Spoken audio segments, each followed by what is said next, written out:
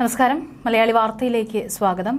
കുട്ടികൾക്കെതിരെയുള്ള അതിക്രമങ്ങൾക്ക് വലിയ രീതിയിലുള്ള ശിക്ഷയാണ് നമ്മുടെ നിയമം അനുശാസിക്കുന്നത്.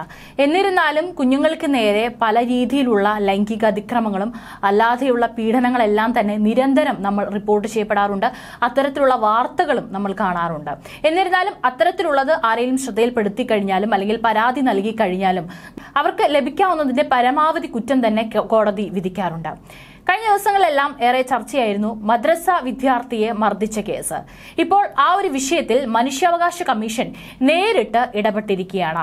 കണ്ണൂർ കൂത്തുപറമ്പിലെ കിനാവയ്ക്കൽ ഇഷാത്തുൽ ഉലും ദറസിലെ അധ്യാപകനിൽ നിന്നാണ് വിദ്യാർത്ഥിക്ക് വളരെ ക്രൂരമായ മർദ്ദനമേറ്റതെന്ന പരാതി വന്നത്.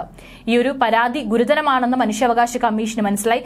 അതുകൊണ്ട് തന്നെ മനുഷ്യാവകാശ ലംഘനമെന്ന് കമ്മീഷൻ ചൂണ്ടിക്കാട്ടുകയും ചെയ്തു. സംഭവത്തിൽ കർശന നിയമ നടപടികൾ സ്വീകരിക്കണമെന്ന് മനുഷ്യാവകാശ കമ്മീഷൻ അംഗം കെ ബൈജുനാഥ് ഉത്തരവിൽ പറഞ്ഞു കഴിഞ്ഞു. കഴിഞ്ഞ ദിവസമാണ് വിഴിഞ്ഞം സ്വദേശിയായ അജ്മൽ ഖാൻ എന്ന വിദ്യാർത്ഥിയെ ഉമൈർ ഫൈസി എന്ന അധ്യാപകൻ ക്രൂരമായി മർദ്ദിച്ചത്. ഇന്നലെ ഉച്ചയോട് കൂടിയിട്ടാണ് വിഷയത്തിൽ മനുഷ്യാവകാശ കമ്മീഷൻ ഇടപെട്ടത്. ഈ ഒരു വാർത്ത എല്ലായിടത്തും വ്യാപിച്ചിട്ടുണ്ടായിരുന്നു. വലിയ രീതിയിൽ തന്നെ വിമർശനവും ഉയരുന്നുണ്ടായിരുന്നു. കാരണം അത്രയ്ക്ക് മാരകമായ മുറിവാണ് ഈ കുട്ടിക്ക് ഏൽക്കേണ്ടി വന്നത്. സംഭവത്തിൽ മനുഷ്യാവകാശ കമ്മീഷൻ കേസെടുത്തു. ഗുരുതരമായ കുറ്റകൃത്യമാണ് നടന്നതെന്നും കൃത്യമായ അന്വേഷണം ആവശ്യമാണെന്നും ചൂണ്ടിക്കാട്ടിയ മനുഷ്യാവകാശ കമ്മീഷൻ കണ്ണൂർ റൂറൽ ജില്ലാ പോലീസ് മേധാവിയെ കേസ് അന്വേഷണത്തിന് ചുമതലപ്പെടുത്തി. കേസിൽ അന്വേഷണം നടത്തി ഒരാഴ്ചയ്ക്കുള്ളിൽ റിപ്പോർട്ട് സമർപ്പിക്കണം. സെപ്റ്റംബർ ഇരുപത്തിയഞ്ചാം തീയതിയിലെ സിറ്റിംഗിൽ അടിയന്തരമായി കേസ് പരിഗണിക്കുമെന്നും കമ്മീഷൻ അറിയിച്ചിട്ടുണ്ട്.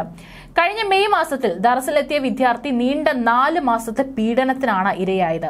അതിനുശേഷം നാല് മാസത്തോളം ഈ ഒരു കുട്ടി അതിക്രൂരമായി മാനസികമായും ശാരീരികമായും പീഡനത്തിന് ഇരയായിട്ടുണ്ട്. അതിനുശേഷമാണ് ഈ ഒരു നാല് മാസത്തിന് ശേഷമാണ് ഈ ഒരു വാർത്ത പുറലോകം അതുപോലെ തന്നെ കുട്ടിയുടെ മാതാപിതാക്കളും അറിയുന്നത്. ഉസ്താദ് പഠിപ്പിക്കുന്നത് മോശമാണെന്നും വെറുതെ തല്ലുന്നുവെന്നും പുറത്തുള്ള ആളുകളുമായി പങ്കുവച്ചതാണ് ആക്രമണത്തിന് കാരണമായതെന്നാണ് അജ്മൽ ഖാൻ പറയുന്നത്. ശരീരത്തിന് പുറം ഭാഗത്ത് ചൂരൽ കൊണ്ട് മർദ്ദനമേറ്റ പാടുകൾ അതുപോലെ തന്നെ ഇസ്തിരി പെട്ടി ചൂടാക്കി തുടയിലും പുറം ഭാഗത്തും വെച്ച് പൊള്ളിച്ച പാടുകൾ ഗുഹ്യഭാഗങ്ങളിൽ അടക്കം മുളകുപൊടി പുരട്ടി വേദനിപ്പിക്കുന്ന അടക്കമുള്ള സമീപനമായിരുന്നു ഉസ്താദിന്റേത് എന്നായിരുന്നു വിദ്യാർത്ഥി പറഞ്ഞത്. ഇത് പറയുമ്പോൾ തന്നെ നമുക്ക് മനസ്സിലാകും എത്രത്തോളം തീവ്രമായിട്ടാണ് ഈ ഒരു ഉസ്താദ് ഈ ഒരു കുട്ടിയെ പീഡിപ്പിച്ചിരിക്കുന്നത് എന്നുള്ളത്. ഏതായാലും കുട്ടി വളരെ വലിയ രീതിയിലുള്ള ഒരു മാനസികാവസ്ഥയിലും അതുപോലെ തന്നെ ശാരീരികമായി പീഡനം പീഡനമേറ്റതിന്റെ ഒരു അവസ്ഥയിലാണ് നിലവിലുള്ളത്. മുറിക്കുള്ളിൽ പൂട്ടിയിട്ടായിരുന്നു ഇത്തരത്തിൽ കുട്ടിയെ മർദ്ദിച്ചിരുന്നത് എന്നാണ് റിപ്പോർട്ടുകൾ. ഈ ഒരു സംഭവത്തിന് പിന്നാലെ ദറസിൽ നിന്ന് ഓടി രക്ഷപ്പെട്ട അജ്മൽ ഖാൻ അടുത്തുള്ള മുജാഹിദ് പള്ളിയിൽ അഭയം തേടുകയായിരുന്നു. ക്രൂരമായ മർദ്ദനത്തിൽ പരിക്കേറ്റ അജ്മൽ ഖാൻ വിഴിഞ്ഞം ആശുപത്രിയിൽ ചികിത്സയിലാണ്.